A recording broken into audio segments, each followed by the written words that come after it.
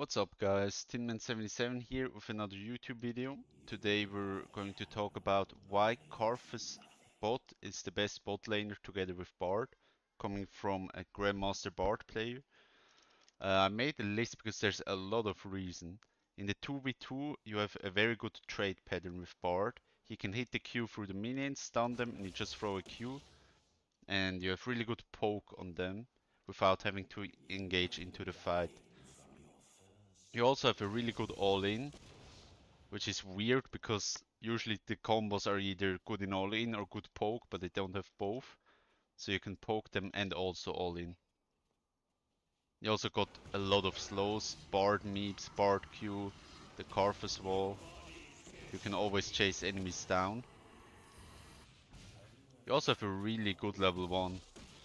Bard has one of the strongest level 1s in the game because he basically has one extra ability with his passive and if enemies play too aggressive Karthus with his Qs and Bard with his Q and the auto attacks you can just kill them. Lot of damage level 1. The main reason why it's such a good combo is not the 2v2 though. It's because how Karthus is alone in the lane. As Bard you want to be roaming but with certain ADCs, they just keep you glued to the bot lane like Caitlyn. You don't really want to weak side a Caitlyn, she needs to be strong. So when Bard is roaming, Karthus can farm pretty safely with Q from longer range, you know. Another ADC would have to go way closer to the minions to get it. And Karthus can just get it like this. Also, it's really hard to dive Karthus. Even 3v1 he will get one or two people. One of the main issues is when you're roaming, enemy support is not roaming, and enemy jungle is bot. Your ADC will get dove, you will lose a lot of minions, a lot of experience. And it's really bad that even if you kill top lane in a dive, it's basically even. But with Karthus, you just can't dive him, he just will kill one or two people. He also has very good wave clear.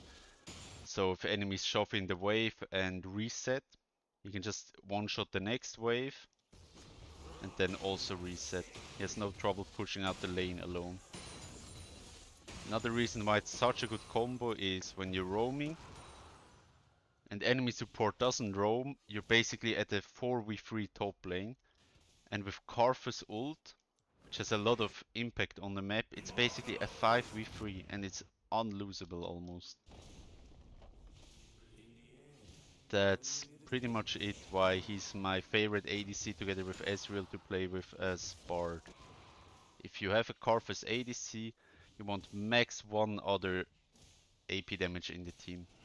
Preferably he's the only AP damage, because he has enough AP damage because he hits every every enemy with the ult, which obviously deals a lot of damage.